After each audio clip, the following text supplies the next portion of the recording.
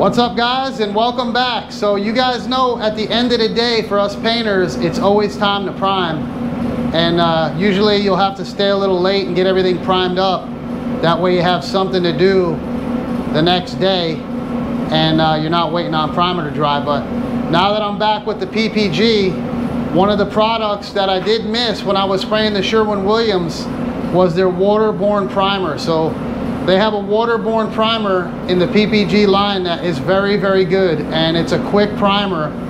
It's got a good build and it's fast. So I definitely did miss this stuff. And now that I got it back, I'm using it again. And I like it because I can keep it loaded in my gun. And when something comes over to prime, I can prime it, give it a little air, blow dry each coat, and get right on it right away. So this is definitely a good product that they have in the PPG line and uh, let me show it to you guys. So this is it here. It's the uh, EPW 115 and it is a waterborne speed primer. So this stuff here can get you in and out of a job very, very quickly when you need to. So I like having, like I said, I'll have a gun loaded up and uh, it's a it's a 1k product basically with the reducer. So it just air dries with just like the water base does. So I'm gonna show you this stuff here and show you how I use it. And uh, to any of you guys out there in the PPG line I'm sure you guys know this stuff but this is definitely a very good product they have. So let's go ahead and prime up a couple little parts and I'll show you how nice this stuff is. All right so this is the spot we're gonna prime here. It's just a little end of this quarter here and then we're to prime this spot on this bumper and we're to use that uh, waterborne primer I was telling you about. So let's go ahead and put a coat. I'll show you a little trick that I do that definitely speeds this stuff up. And it's nice because on this Festool I have it's got an outlet on it. So I'll show you why I need that. So let's put one coat on and uh, get through this.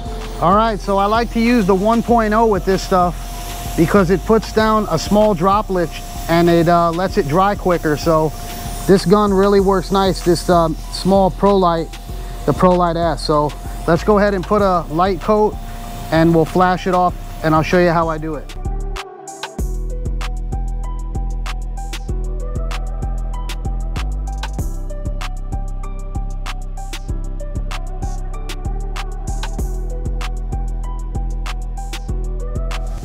All right guys, so what I like to do is use a blow dryer, not a heat gun. You wanna use a blow dryer, that way it doesn't get it too hot and skin over the top.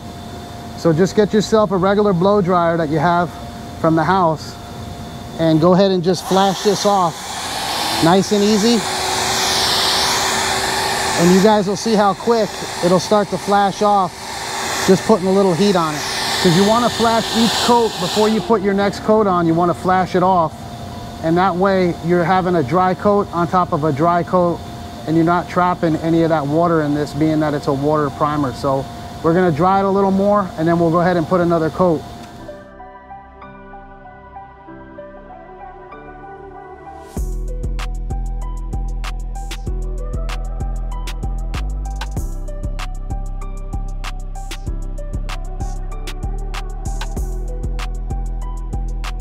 All right, so that's two coats and we'll blow it again. Get it to flash off.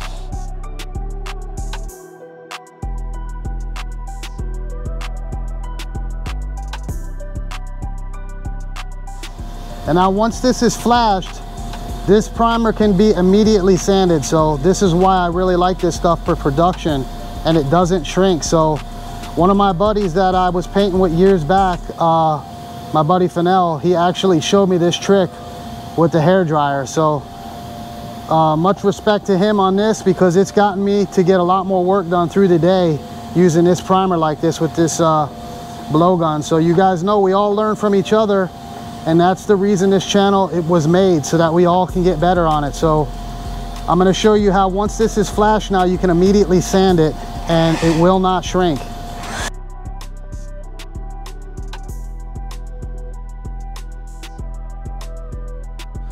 All right, now we're gonna go ahead and hit it with the DA and I'll show you how it's dry. We're gonna use 600 on the Festool and that's the vacuum sander that I'm using here at this new shop. That way we keep the dust down. So let me go ahead and show you. There's no trickery here. We just got done blow drying it, and now we're gonna hit it with the six.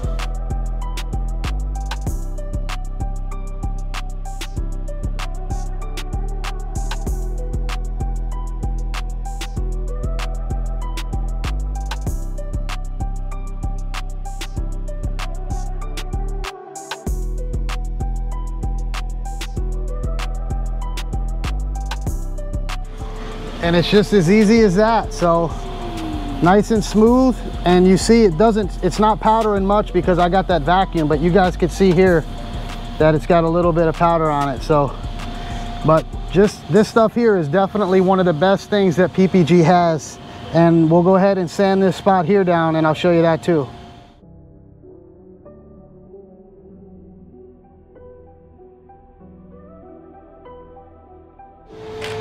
and there it is. So one of the best products that they have. And uh, if you guys are using ppg make sure that you guys have this waterborne primer. It'll definitely uh, speed you up in the production. And uh, this stuff doesn't shrink. So i've used this when i was using ppg and uh, it's a really good product. So if you have it make sure you use it and it'll definitely help you out if you blow dry it in between each coat. That way you get that moisture out of there almost just like the water base because this stuff has the same uh, water that goes into the actual paint used into the primer on this. So just wanted to show you guys this one. You guys know how it is at the end of the day or if you're in the middle of you know a job and you want to get it primed quick and be able to shoot it in the booth, this is the stuff that you got. So hope you guys liked it. Give it a thumbs up and we'll see you on the next one.